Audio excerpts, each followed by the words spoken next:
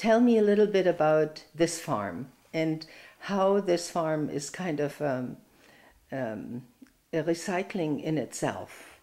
So it's an ecosystem where um, there's a balance between the number of animals eating from the land base and then amount of animals then recontributing to the fertilizing of their food source. Um, Mm-hmm. so it's, I would say, uh, the goal is ultimately that the, the farm is in a balance nutritionally, that the cows are eating, that the, the land is producing enough food for the cows to eat, and the cows are producing enough manure for the land to produce enough To food for them. Yeah. for instance, but there's also the balance of having the pigs and the chickens and all the different animals, the horses, to contribute to the nutrient cycle of all, because each animal has a different uh, co- composition Yeah. in their manure, and so Yeah. a mix of all of them is best. Yeah. Yeah. Now the cow isn't a very important part of that. Yeah. So Yeah. the, and the cow is able to create soil fertility. Yeah. And soil fertility in this kind of farming actually is one of the biggest um, solutions to climate change Yeah.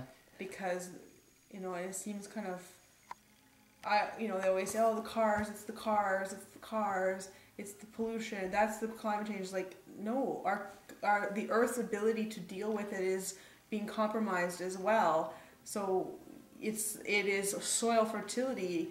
It's it's the ability for the land to to sustain itself properly. Exactly. and you have all this commercial agriculture is the worst thing for Yeah. climate change Well, they found that out in India with the Vandana Shiva. I'm pretty sure people have heard about Vandana. yeah And uh, you know, I mean, it's it's all about uh, the fertility of the soil. I mean, I, I drove past a couple of fields uh, on the way here, and they were you can see they're totally dead.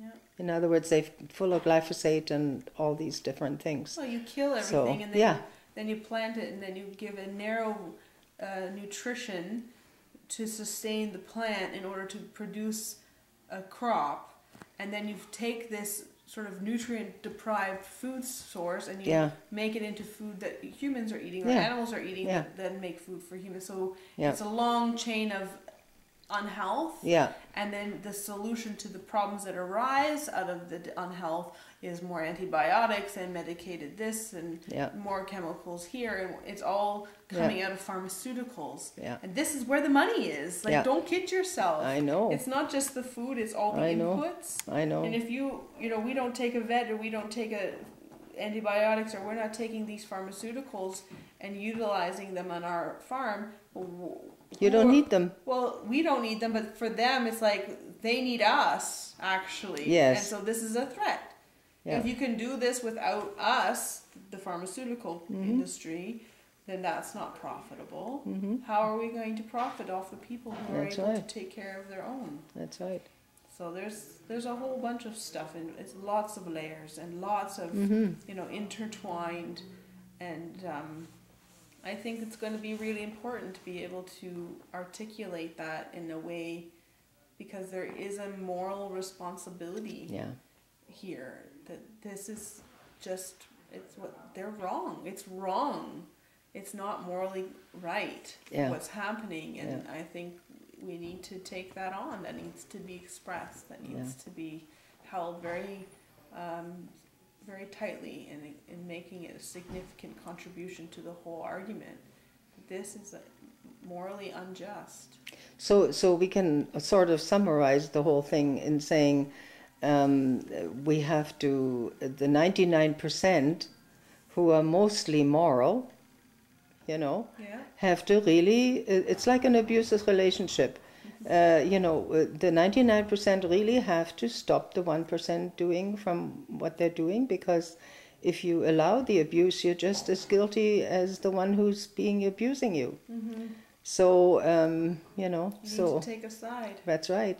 And on that note, um, people have uh, the opportunity to come to the court and show their support um, uh, as a 99% when we have the hearings for the injunction on um, May 29th. May 29th and May 30th in Newmarket. There you go. there's Monday and Tuesday. There's the Mhm. injunction hearing. So Good.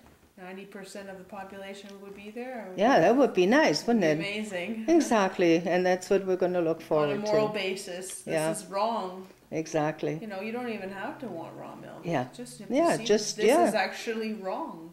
So thank you, Elisa. Thank you.